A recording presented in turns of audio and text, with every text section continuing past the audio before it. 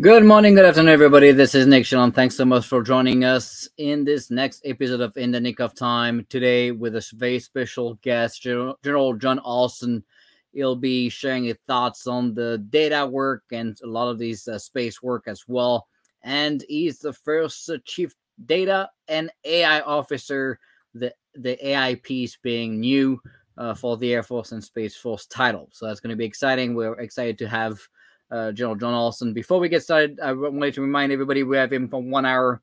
So put your question in the chat now. We already have a lot of questions from LinkedIn and Twitter. Uh, so we'll go over some questions live.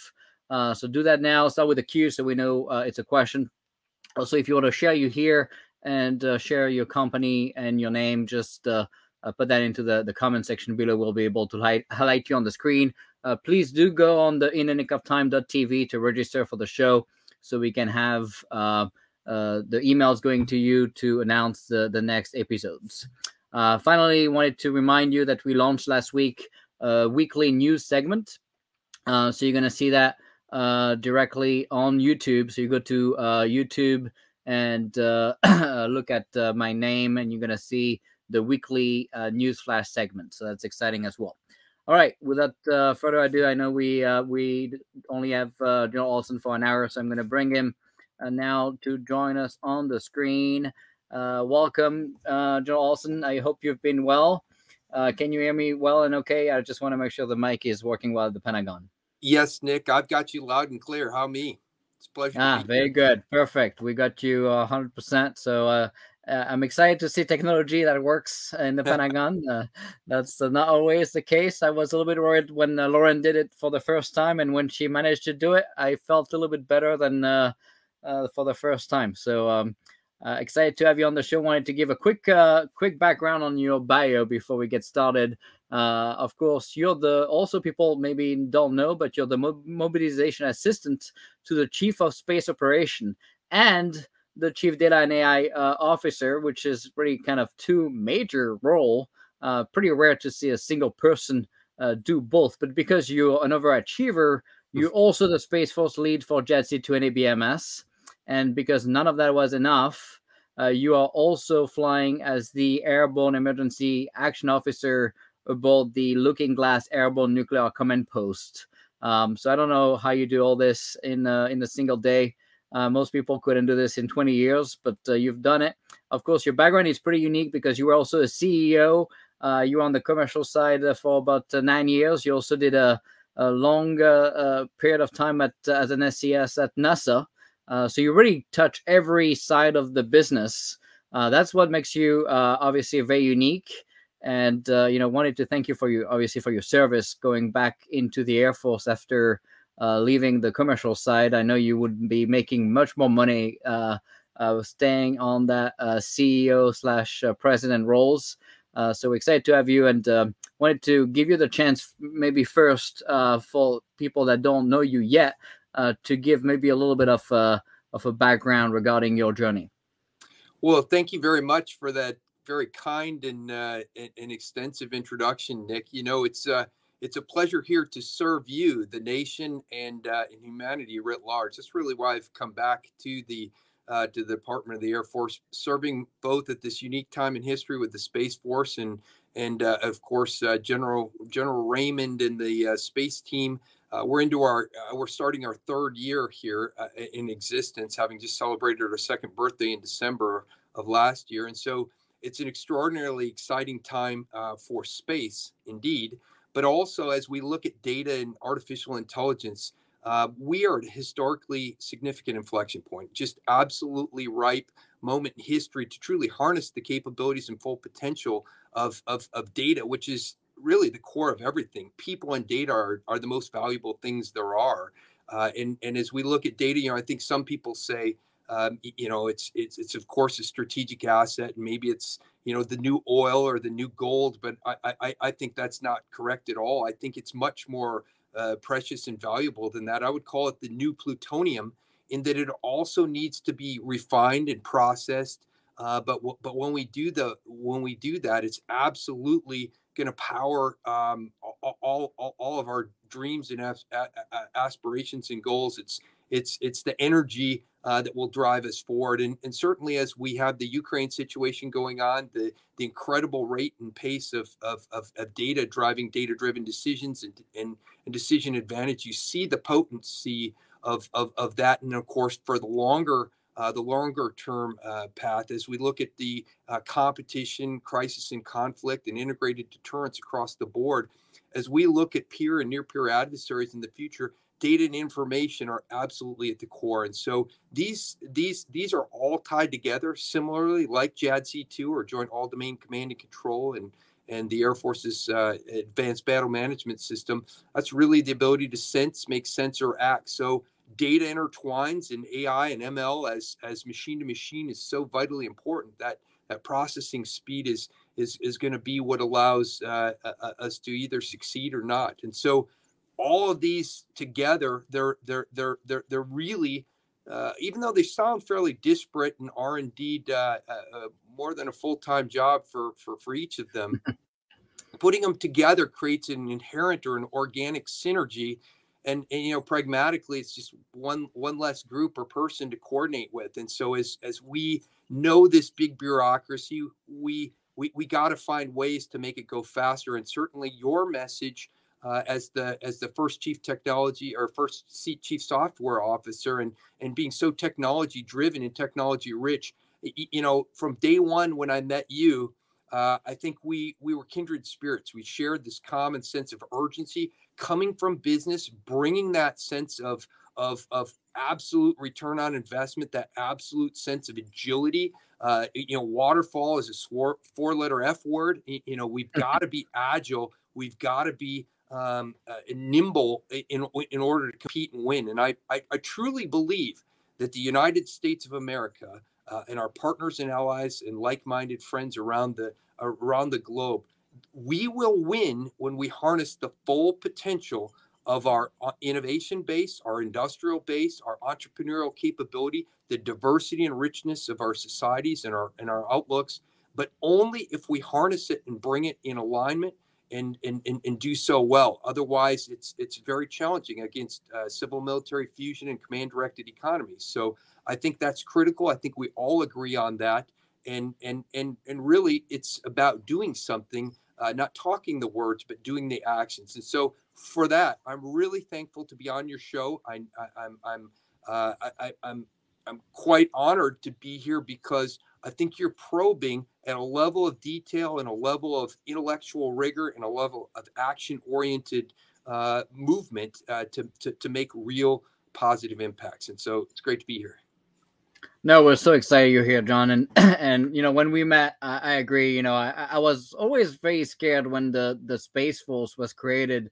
Uh, you know, I've seen so many silos already in the Department of the Air Force and you know a lot of people were afraid and i was afraid that uh, people will create more and more silos and you know with a new SAE now for space and we have a SAE for for the air force after dr roper left i was a little bit concerned that you know people will reinvent the wheel create more uh, more silo than we need and when you you know joined um, last year or a year and a half ago now um, I was so excited because not only you get the technology, which is pretty rare, right? I think in the department, unfortunately, uh, there's not a lot of very deep technical uh, expertise. So I was pretty excited to, to, to see you were there. And then, you know, even more excited when you we started talking and you started to share a little bit of your insights when it comes to where the Space Force uh, should be focusing and augmenting kind of some of the existing work that's been going on for years in the Air Force. And so, you know, my, my kind of the, we got so many questions from LinkedIn.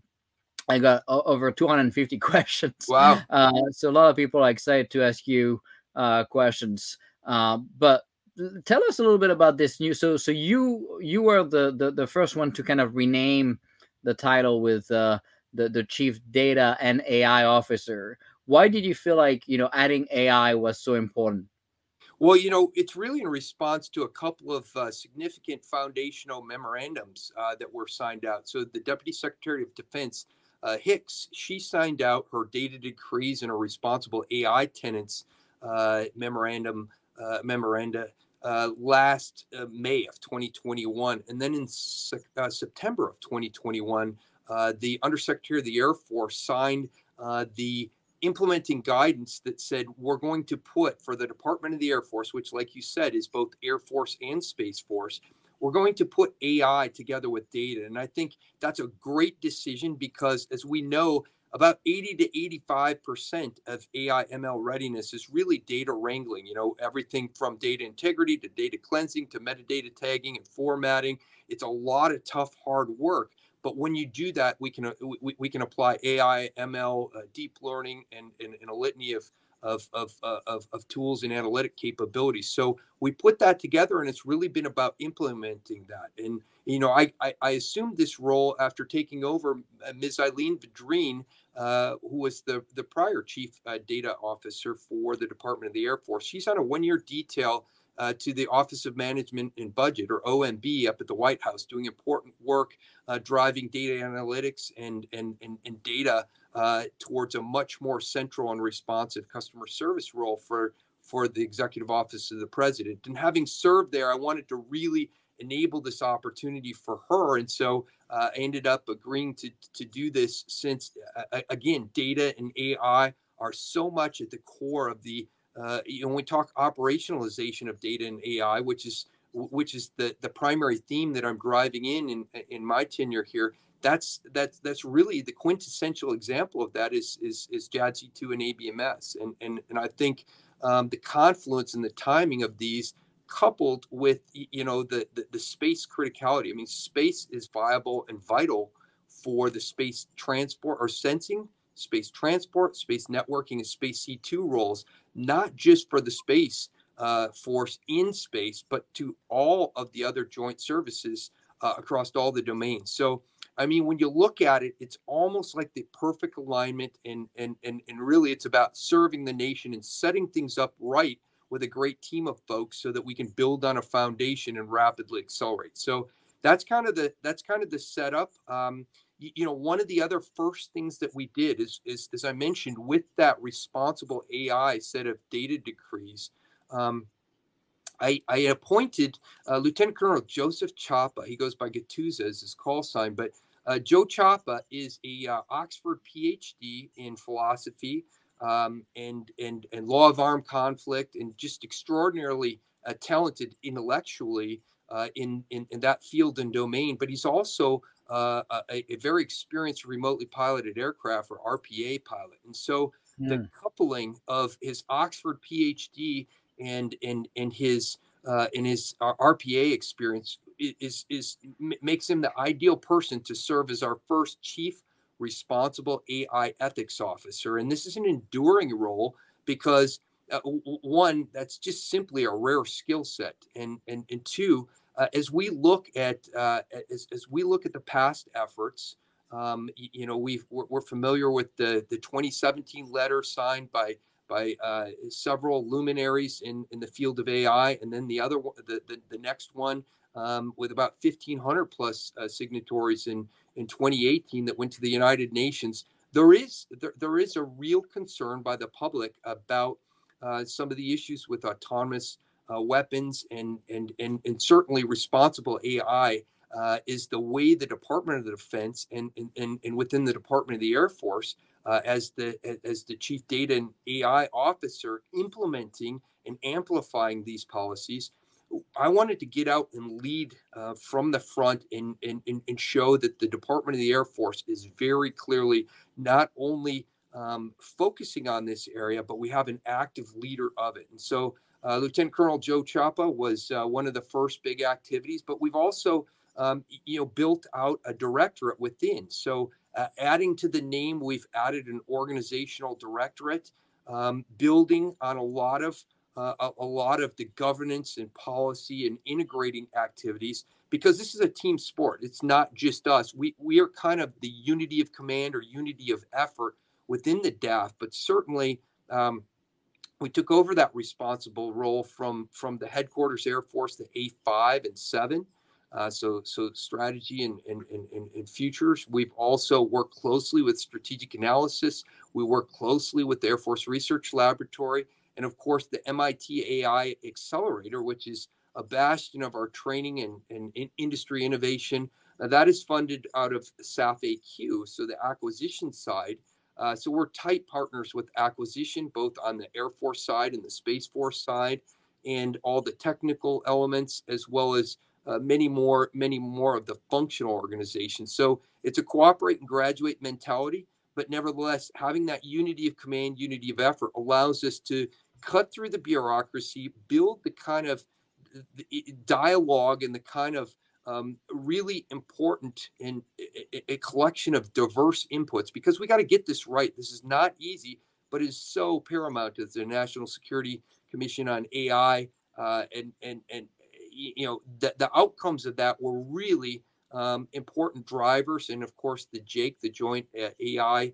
Uh, the, the, Joint AI Center, yeah, of course, the JAIC for the DoD, and now as we've migrated, most recently with the December letter, um, the JAIC is now folding into the uh, the Office of the Secretary of, of Defense is uh, what's called the CDAO, the Chief Digital and AI Officer. So uh, at the DAF level, I'm the Chief Data and AI Officer, but at the OSD level, it's the Chief Digital and AI Office. So I think that's going to be a really important set of uh, uh, organizational constructs that will allow us to build uh, much more uh, rapidly. And I think that's the key is we got to get after that. We got to be actionable. We got to be smart. We got to be informed. We got to take inputs from industry and academia. And, and really, that's why I'm here. I think you lead one of many really important uh, dialogue themes or stre- uh, threads or streams. And I think those are uh, really important for us to both engage in, to communicate, to listen to, and then to act upon. Yeah, and so you you you talked about so many things I want to deep dive into. Uh, let's let's take a first one that's uh, a little bit uh, you know maybe uh, sensitive, but I think very important uh, when it comes to ethics and AI. Right? Um, I've seen a lot of people in the department obviously uh, be very focused on ethics, and I certainly agree that uh, ethics are so important uh, in a world where AI could really uh, turn things uh, for the worse. At the same time you also see China um, move very fast uh, with their AI adoption, having uh, kids learn AI at seven years old and so on. So they're not waiting for us to figure this out. I think we all agree that whoever is going to be um, leading AI will be leading the world. So now that we know that, um, where do you put the the line between you know okay we need we need tangible outcomes right when it comes to AI we need to get things done we need warfighter outcomes not just uh, a bunch of uh, policy documents, um, and which is really kind of unfortunately what JAIC has been really pushing for the last couple of years until it's been folded into the the new CDA's office. And by the way, the they picked uh, a good, good, very good friend of mine who is going to do a great job to become the first uh, CDAO at OSD. But uh, yeah. b- before we talk about that, where do you how do you define that line between okay, let, let's invest and spend time on ethics, but let's not forget we're here to build war fighting capabilities as well. Well, you know, that's a great question. And, and I think um, at its core, uh, to, to, to be very uh, to be very succinct, the Deputy Secretary of Defense, uh, uh whom, whom I have enormous respect for, Deputy Secretary Hicks, said, "Hey, these these responsible AI uh, principles are re- being responsible, equitable, traceable, reliable, reliable, and governable. And and you know each of those has a deep meaning, and and and and and, and we could talk for quite a bit on those. But I think uh, at, face value, they also are fairly uh, self uh, self descriptive. And I think um, what she said uh, to, to, to, to, to really distill it down is, is we're going to follow these principles because we're going to do this right. This is what this is what our responsibility is from an ethical, uh, from a from from a moral perspective, and consistent with our values and our beliefs uh, and the rule of law, and consistent with um, uh, the, the, the the rights of humanity. And so, as we as we look at those, we're going to do things right, or we're not going to do it, and that's exactly uh, the key message. And and and and therefore, having um, our our CRAO, our Chief Responsible AI Ethics Officer, uh, as an integral part of our planning. But more importantly, we use we use a board process that's part of our acquisition where we're bringing all the relevant stakeholders in at the right time or you know before the the appropriate milestones have progressed too far into the acquisition life cycle And so we're we're, we're, we're doing it on the front end of the acquisition life, life cycle. We're talking about it. We're cultivating uh, those those those discussions because we all know the gray areas are where the real challenges are. If it's black and white, it's simple, right? And and and and and I think if you if you read any literature on this, you know that the devil is in the details. And and and so having a person who can lead that structured dialogue, who can think systematically, and and you know, I, I my PhD is in uh, in systems engineering, so I believe in breaking down these big complex systems of systems or families of systems into uh, in, in, into manageable parts. And, and and by driving and tackling those uh, we can we, we can address the much bigger um, you know problems issues challenges opportunities. And so i think uh, that's how the, the, the two of us are working closely to instill that kind of structural approach to departmental thinking and certainly that applies all the way through test and evaluation ver- verification and validation um, and and you know, so we start looking at human machine teaming all the way from level zero to level five. Um, and, and it's not just uh, you know autonomous vehicles like we see so so so much across the, the, the globe as we start looking at at families of systems with aircraft as we look at spacecraft and as we look in in in in, in applications for cyber as we look at those domains airspace and cyber across the department of the air force portfolio and supporting all those other joint services in, in, in, in multi-domain areas at multiple levels of classification. This is how we're tackling it, and we're going to be able to make um, much uh, much progress um, against uh, against a uh, a set of challenges that are that, that are important for us as a nation. And so I think that's how we and our partners or allies are going to engage. And, and you are you are spot on when uh, when our adversaries uh, may may have different moral or different ethical or different legal uh, or different command or hierarchical structures that they can apply, uh, we think this is uh, this is doing the right thing and and and if you will, the good guys or the good people um, doing the right thing will will will ultimately succeed and win. And I think it is competition in the gray zone. Certainly, space and cyber um, you, you, know, in in in uh, in the past, we used to say "fight tonight," uh, uh, but but it's actually "fight right now." As we look at the proliferation of cybersecurity challenges, even to our very democracy, with the you know security of the elections and our and our operations of our business and our and our public systems, uh, it's vitally important. In space and cyber have been and will remain at the very forefront of that. So it's it's um, it's it's very relevant to be thinking about and talking about this both as a space force person and as a as an air force person. Yeah, and unfortunately, we won't have enough time to to deep dive into some of these things you just mentioned. But uh, I guess I, I had one one comment before we move to your uh, mobilization assistant of uh, the chief of space operation role.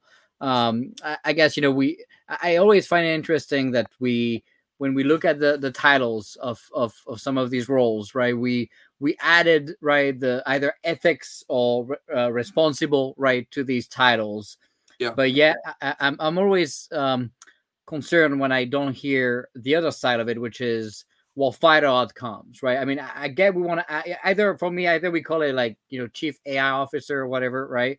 Uh the, now we're going to call it chief responsible ai whatever right and now we add, but we're not adding the other side of it, which is well fight outcome, right? So so I, am just always afraid when we keep pushing because it's it's it's a balance, right? Um, just like cyber and moving fast and delivery of, of capability, the, the line is always pretty blurry. And I'm just afraid because we keep putting things in titles like this that we're, we're pretty much hinting that ethics and uh, responsibility is more important than what fighter outcomes and i think you know that balance cannot be lost i'm you know i'm not asking for an answer here because we don't have the time but uh, that's just my well comment. i'm actually glad you brought that up because you know if if if if you take a look at, at, at even what i'm wearing here I, I, am a war fighter and and i you know i've i've i've i've had um a, a career where I've got to serve in, in, in space, cyber, Uh, I currently, as you mentioned, fly, uh, you know, on the Airborne Nuclear Command Post, the Looking Glass. Uh, I've, I've, I've gotten to be a part of a, a, you know, I've, I've deployed and I've been a part of many operations uh, across the globe. And I think that's really important to emphasize that at this point in time, the primary thrust that we're imbuing in the Department of Defense and within the Department of the Air Force specifically is the operationalization of data and AI ML readiness. And what does that mean? Certainly, it's about business enterprise efficiency, but more importantly, it's about mission operations capability and warfighting capacity and increasing those across the board. And I think data and AI ML are, are so vital and intrinsic to that. Uh, they're the core of what we are of what we do. And so um, some might say uh, we're weaponizing data. I don't really like that because of the broad uh, of the broad spectrum. That is that is one thing that we're doing in order to be in, in order to you know you got to have data to make data driven decisions and data driven decisions turning into actionable information is what leads to decision advantage and to information advantage and as we look at the joint warfighting construct from uh, from the, the the joint staff that is the way the united states military is going to uh, uh d- deter compete uh, and, and and and defend the national security interests of the united states and so um, that information advantage or that decision advantage is vital. And so, um, much like we said, the short term is Ukraine and, and the long term is China. Uh, as we look at the Secretary of the Air Force's operational imperatives, and that being the pacing challenge, uh, as you've seen a lot in the literature and, and, and, news on. But this is all about data and AI ML readiness at the core. And so that's why um, getting it right is so important. But um, we we got to get it right with responsible uh, actions, but we absolutely have to have outcomes, and that's why I'm very clearly leading from the front in that regard. No, that makes that makes so much sense. So so tell us a little bit about, and you, you say there's obviously lots of overlap, which which makes a lot of sense. We don't want to have more people to coordinate with, right? There's plenty of that already plenty. in the building. but what what does that entail, right? I, I think most people don't know what a mobilization assistant even even does. Well, you know, it's a great question because you know, it, I think people really don't. Uh, you know, we say MA for short, but really, what I'm what I am is I'm the chief or, or, I'm the senior reserve officer to the chief of space operations, General Raymond. So he's the head of the Space Force. He's also a joint chief, uh, and he's also the head of the 18th Intelligence Agency, uh, as as the Space Force is one. So uh, he wears multiple hats, and so I'm his uh, his mobilization assistant. And and you know when when when when day one when we sat down and we talked, and he goes, you know, I selected you because I I'm building a digital service, and I'm building a service that we want to have technology and lean agile principles at our core because we're never going to have uh, a, a, a, a, big uh, or a large group of people, whether it's military, um, uh, civilians or or, or, or, or partners in, in, the total force. We're just not going to have it. And he said, but you know, you've you've been in industry for a decade. You've been at other agencies like NASA and at the White House. You understand both sides of Pennsylvania Avenue. You got a PhD, and he says you've you know you, you've you've you've you've been to test pilot school, so you understand the flying side. You understand that mentality, the warrior ethos, um, while still having uh, you, you, know, a tech driven leadership uh, pedigree. And he goes, having just come from uh, the, the, the 16th Air Force and, and Air Force's cyber, where uh, for two and a half years working for Lieutenant General Haugh, you know, the, the, the everything from defending our elections uh, uh, to preserve the most sacred element of democracy to uh, to all the work on offensive and defensive cyber and information warfare, pulling all that together. He goes, that's critical to everything that we do in the Space Force. And we simply don't have people who have spent their whole life in the military who who who who, who understand or have those experience uh, elements. And so uh, I, I feel really fortunate uh, to work for such uh, for such a great leader at this important time. He and General Thompson uh, have created a, an extraordinary organization at a, a extraordinary time Um, and, and, and this is the first year where, with the president's budget that was just uh, delivered to Congress, uh, the FY23 budget of $773 billion, it's the first time that we build a resilient and effective architecture or we start laying that in for the Space Force because it's no longer, uh, it, it is a contested domain. It's no longer um, free from uh, from from the challenges uh, that other domains may, may may have had for a very long time. So this is requiring a fundamental paradigm change, and and I'm just honored and tickled and excited and and and uh, very energized to be a part of that. So that's what I do.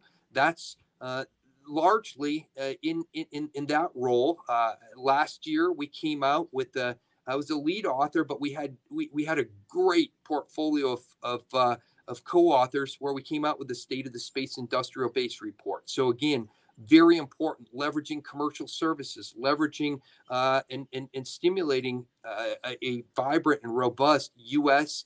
Uh, and allied partner space and, and broader industrial base. It's about bringing uh, bringing a, a North Star vision and compelling uh, economic and national security focus uh, uh focal areas into into full view and, and driving those in. So I think that's one additional part that I do for him.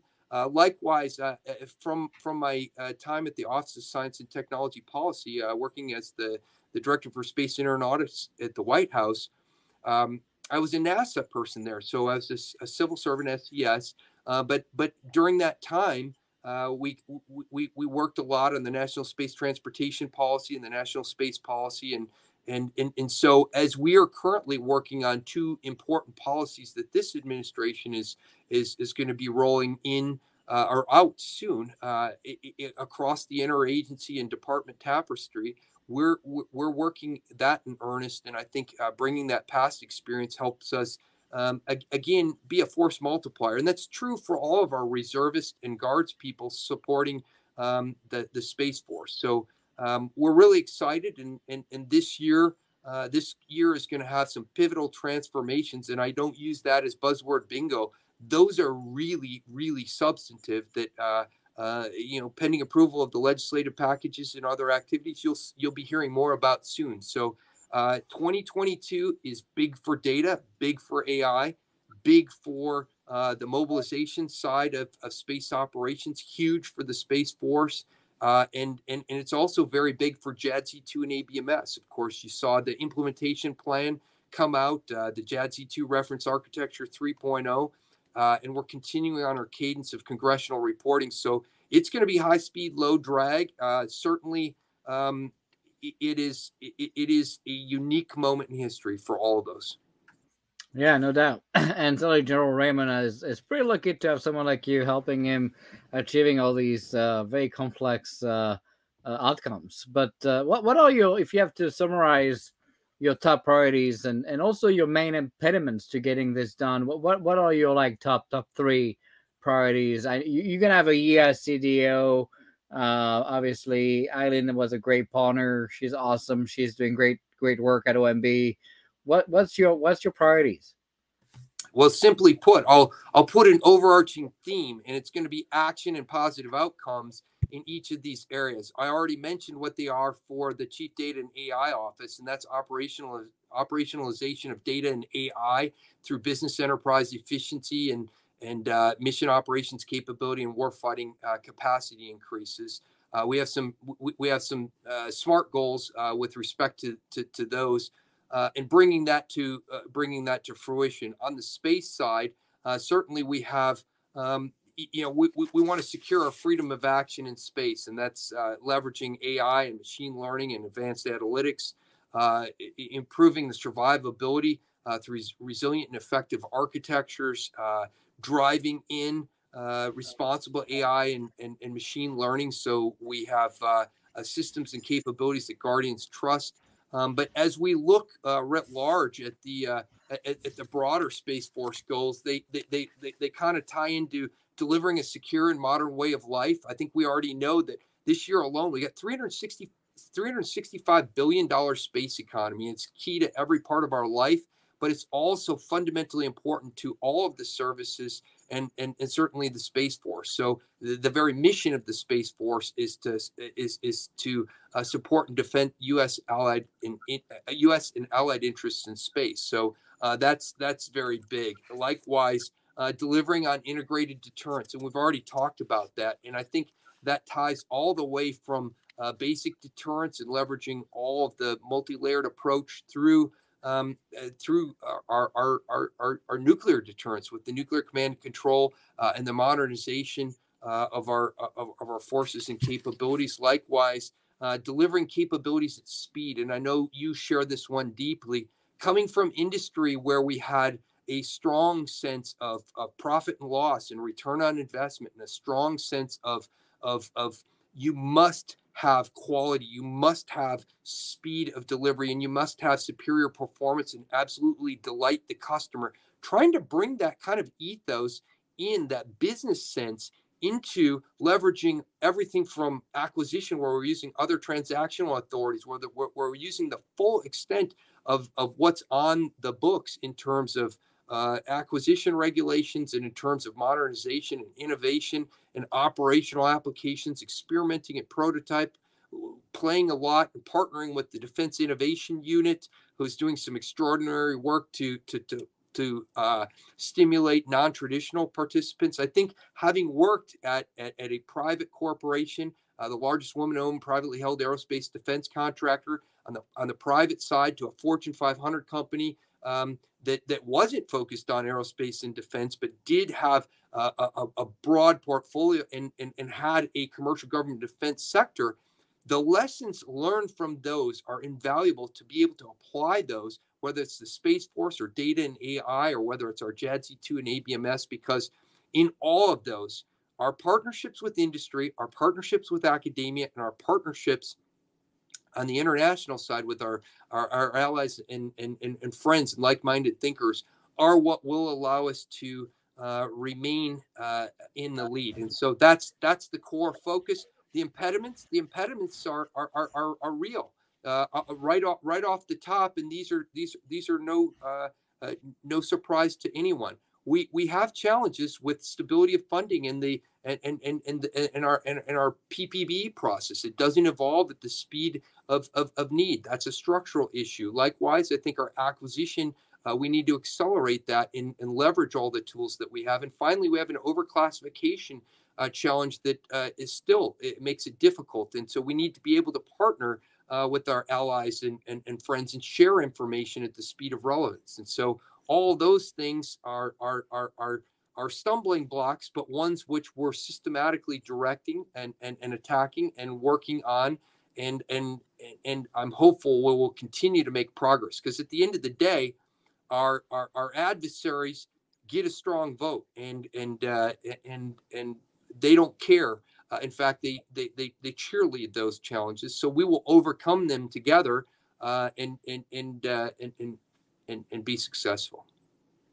So you didn't mention uh, any impediments when it comes to retention or, or attracting talent. What have you seen? Uh, I mean, obviously coming from the commercial side like me, I'm sure you you felt some pain there. So what are your thoughts on what to improve or or what do you see as a good way to get some of that problem solved? Well, I think that is uh, that that that is fundamental uh, to our success. People, um, as I mentioned up front, people and data are the most important uh, strategic assets uh, that we have. But um, quite frankly, um, you, you, you said it up front. I, I, I you know I I, I took uh, I believe somewhere uh, north of ninety percent pay cut, or took a couple of zeros off my paycheck to come back. Why would you do that? You'd question your a normal person's judgment. Well, yeah. The the reason is is because um, the, the, the private sector you can do extraordinary things, but there are certainly some structural or intrinsic or some vector setting or policy setting things that you can only do in government.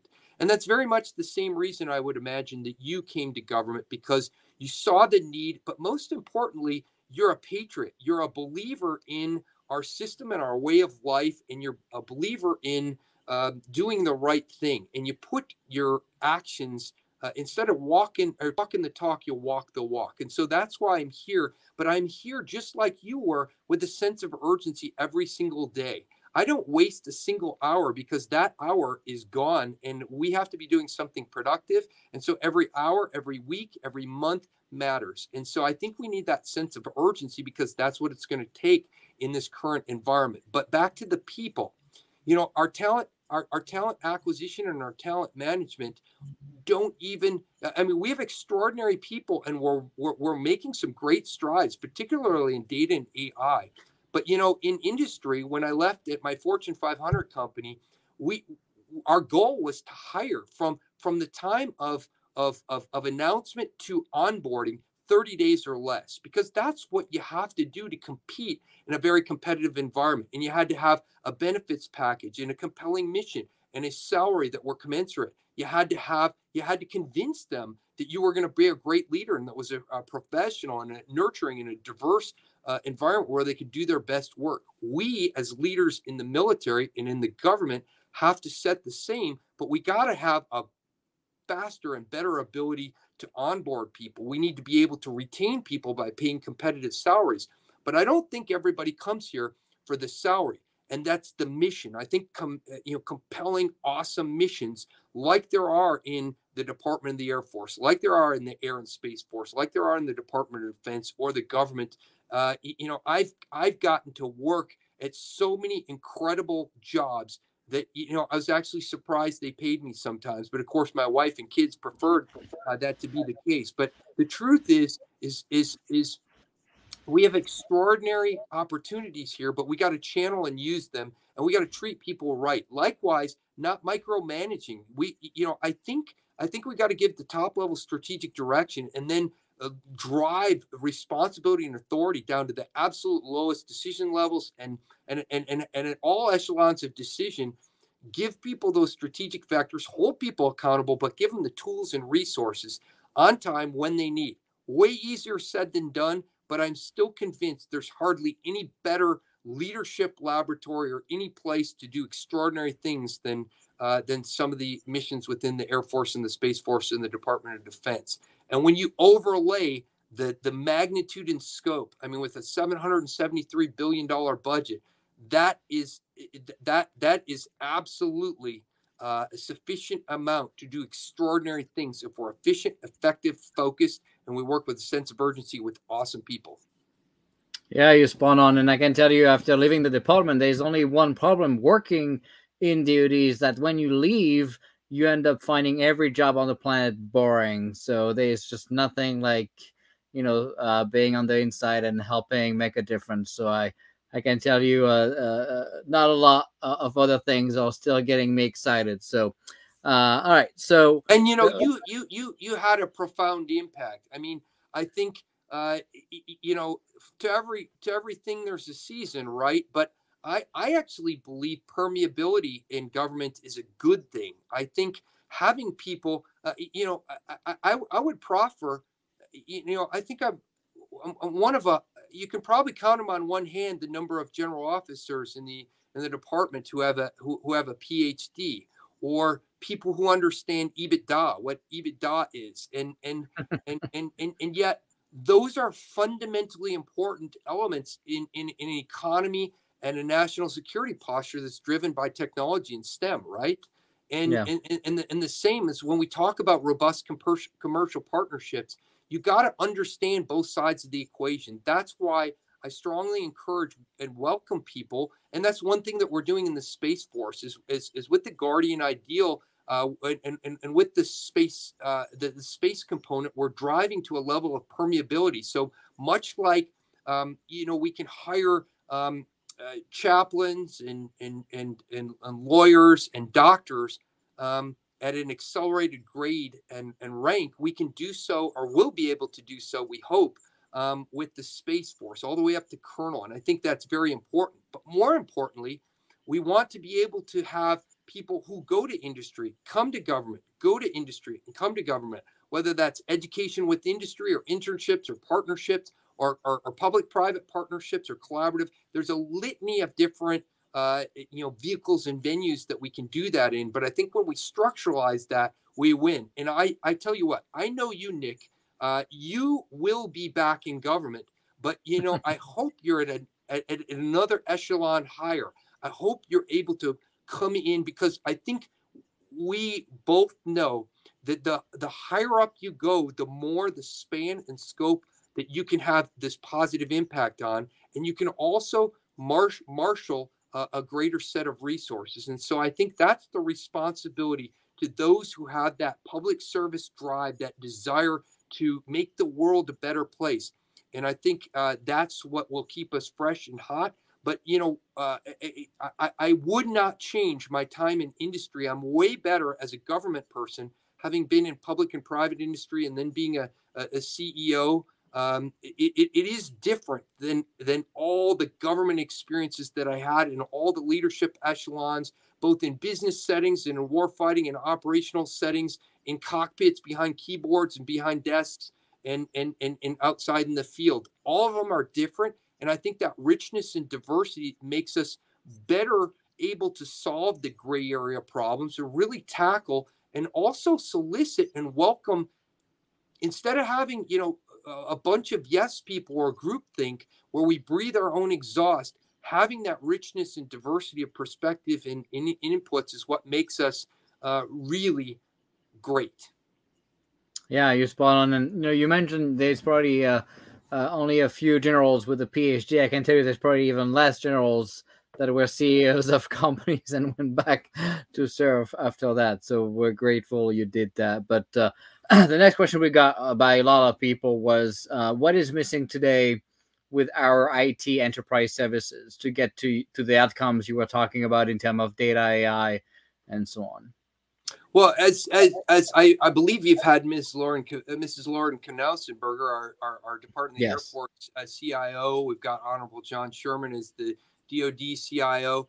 I, I, I think writ large, you know, we're, we're, we we we've seen the fix my computer challenge, and and and uh, uh, Ms. Knausenberger is is is absolutely leading, uh, you know, the integrated team to get after that because. Uh, let's let's face it enterprise it is foundational to everything we do we're we're 22 and a half years into the 21st uh, century here and and, and the information the information age is fundamentally dependent upon uh, a, a, basic set of uh, IT capabilities and services that are, are, responsive and reliable and, and robust uh, against uh, an onslaught of, of, of continuous cyber uh, attacks and probes and penetrations. And it's and, and it's it's balancing uh, that that service with affordability and mission capability I think we're uh, th- that team is really getting after that. No doubt, she talked eloquently about the work there. But I think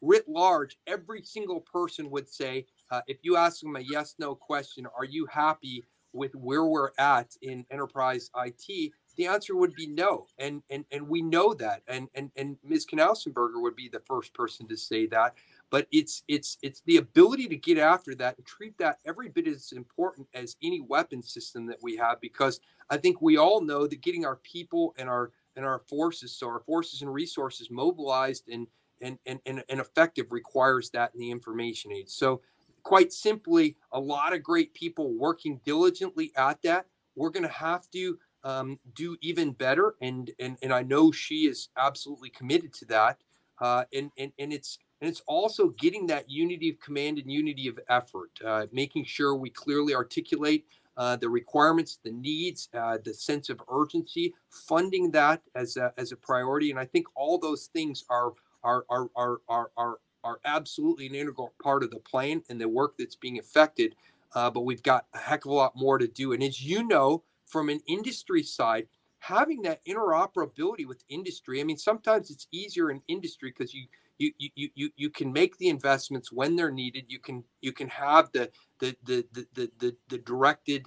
Um, there there aren't you, you aren't hurting so many cats and dogs, but I think as we look at uh, as we look at that and leverage more and more industry best practices, as we leverage uh, you know enterprise IT as a service, as we leverage uh, commercial providers, whether whether that be the mesh cloud or edge node computing or um, as Dr. Costa and the CTIO t- team are looking at uh, the metaverse or the space verse, those are all great aspirations and important uh, forward vectors for us. But you got to have the fundamentals. And when we look at that, enterprise IT, zero trust, DevSecOps, um, you know, continuous ATOs where applicable, ATO uh, robustness and rigor. We need to have that as table stakes, and and and, and I think we can help that through command directed uh, decision making as well because we do the homework. We need to move out and and, and get it done right, and I think that's how I'm uh, looking at the data and AI uh, enterprise, and so um, you, you know that fundamentally must ride on on, on an enterprise IT uh, a, a capability and services are an integral part of that. So um, when, when, when we talk DevSecOps and zero trust, those, those are essential and, and, and zero trust at the data and user level to be able to enable JADC2, to enable uh, to have the right level of multi-security interoperability at the speed of need. Uh, so that that that is table stakes. Yeah, no, and you opened the door for my my last question before we take questions from the public. Um, so what is uh, so we've seen the publications right from the joint staff and uh, the the latest implementation plan. Great, a lot of paperwork, right? A lot of uh, as I like to call it, vaporware. Uh, how do we get to that real JADC2 implementation? You've been the lead for the Space for JADC2 and ABMS. At what point, you know, ABMS and all the services are, are building, you know, the project convergence and overmatch. It's it's done mostly. I mean, let's face it, in a vacuum. There's collaboration, but every uh, duty service is building their own JADC2 right now. How how do we get to a joint, a real joint effort? And what's um, what's going to be the most important outcome you think of getting this done? Well, that's the hundred thousand dollar question, and the answer to it is is we have to get specific and we have to anchor uh, we have to anchor some core uh, elements and then build out from there. As you mentioned, we've got the Department of the Air Force Advanced Battle Management System. Uh, Brigadier General Jeff Valenzia uh, and I lead that for the Air Force and Space Force, respectively. We've got um, the the Navy's Project Overmatch and the Army's Project Convergence. Right now, we we as we mentioned, we've got the the, the implementation plan it's uh, it, it, says all the right things. We've got the JADC2 reference architecture 3.0. I would say objectively, it's too ambiguous. We need to drive to a level of specificity. You started some of that work by focusing on the min viable products. Uh, and, and, and, and that's exactly driven home when the, the new Secretary of the Air Force, Secretary Kendall, came in. Um, the first uh, of, of, of, many meetings with him launched into, uh, you know, uh, th- this is a really hard, complex problem. Um, we you know our everything systems our big utopian systems have been a, a, trail of tears future combat system future imagery architecture and a litany of others i think he said something uh, you know as the former AT&L uh, he said you know c2 systems had the worst track record or says something like 7% writ large and so he was absolutely uh, uh, very rigorous in, in in helping us to shape and refine and align this also with a, a sense of the operational imperatives. What we're doing now is moving out. And I think things like, you know, platform one, if we use platform one and we, and, and, and we, uh, you know, that is, that is already a, a, a developmental environment where we can have uh, DevSecOps and zero trust and, and Kubernetes and containerization and all the table stakes to do what we need. If we bring, uh, if we bring uh, the, the, the services into that and, and and and make that the platform of choice. I think that would be a great stride forward. Um, I know we're talking about it, uh, Lieutenant General Crall and Brigadier General Rob Parker, um, but I think that's one of the areas that I think would make uh, a, a, significant benefit. Additionally, we are working very closely. We do quarterly reporting. With, uh, we, are working with the services and do that quarterly reporting with the services. Congress, both uh, on, on, the House and Senate, is holding us accountable as is OMB and and, and, and, and our broader OSD stakeholders and, and, and, and White House stakeholders. But we need to put that action to work. And that's why we have very specific plans. We recently put out a, a, a, uh, a couple of, uh, for the DAF ABMS, uh, we had a, a, a, fair opportunities or a FOPR announcement out. We had an industry day where we got 30, uh, 30 uh, 33 inputs in. We're taking that actively. We're rolling that into our plan. We're doing a lot of sprints and and a lot of operational uh, uh performance planning through uh, uh, CPTs and through uh, focus sprints. And so we're moving out to add that level of specificity. We're building it into the POM uh, and our budgets, and we're actively participating in Project Convergence 22, Scarlet Dragon, and a litany of other exercises that are are are are, are both Air Force centric and bringing a, a, a, Department in the Air Force centric, as well as most importantly the the, the joint centric uh, and joint uh, activities. So uh, it's it's it's a long answer to a very important uh, make it real because I like you do not want to see PowerPoint engineering or vaporware or big cloud cartoons anymore. Those are important. They baselined us. Now we need to turn those into real objective quality results. Indeed. And, you know, my, my fear is until Congress gives a centralized budget to General Crall and starts uh, merging all these uh, redundant uh, work from the services and, and, potentially designing executive agents on the at the service level. I'm not saying the service shouldn't be involved, but I think uh, until we, we start um, hurting the cats uh, when it comes to convergence overmatch and, and ABMS, it's going to be very tough to get to a real joint outcome. But uh, let's take some questions from the public. We don't have a lot of time left, but um, Michael was asking, how do you intend on developing these emergent technological capabilities in the Air Force while maintaining an unbiased arm's length transaction from commercial vendors? Well, it's a great uh, it's a great question. You know, it's a balance, right? It's a knife edge balance. We absolutely want to uh, explore and evaluate and and be aware of and consider uh, the, the, the latest and greatest in terms of innovations across any uh, uh, of the relevant areas. And and and, and sometimes uh, you know whether it's large, medium, or small providers, or traditional or non-traditional uh, providers, we want to encourage the broadest possible ecosystem that we have. We got a lot of tools in the tool set, but from you know as the acting chief technology and innovation officer for uh, for for for the space force before Dr. Costa arrived over the last summer uh, we drove in the long range S&T plan, communicating our needs. We're also very clear and specific about putting out the doctrine and the and the space power strategy and the space power visions. Uh, and and and as we look at the same in data and AI, where things are moving so fast, and where where we don't want to have vendor lock, we want to encourage competition, and we want to encourage um, you know, a, a, level of resiliency and redundancy. So, you know, mesh cloud, multiple providers are a great thing, backed up by fiber and backed up by 5G and, and, and looking ahead at 6G. All those are important. Same as we look at everything from quantum, quantum algorithms to quantum resistant algorithms to, uh, you know, a litany of, of, of, you know, as we look at GPUs and some of the work in chips and edge node computing, all these areas uh, to remain abreast, you have to dialogue. You have to engage with commercial vendors. You have to have them as part of the team. You have to have money because that's the one thing I hated as a contractor is RFIs are free industry slave labor, and we overuse them in the government. Now they they're an effective tool, but you got to follow that up with money, or you got to follow that up with multiple contracts to make it to make it viable. Otherwise, it's just an opportunity cost, and it's very hard for smaller businesses to do so. And sometimes that's where the real magic is happening. So hopefully that answers that one. Yeah, that's great.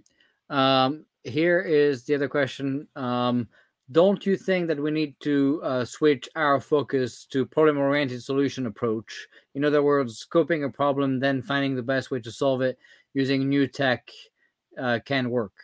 That absolutely yes is the answer to that. Of course, that is exactly what we're doing. We the first the first chart in many of these is is what's the problem statement and and and these are uh, and, and, and these are outcomes these aren't you know so problem oriented solutions and and outcome outcomes oriented actions so I, i'm a big believer in that i also like performance based specifications i think um, I, I, I think it's crazy to think the government knows uh, with, with with with explicit explicit prescience uh, every every issue and and and uh, it's it's it's kind of nonsense. So uh, absolutely agree.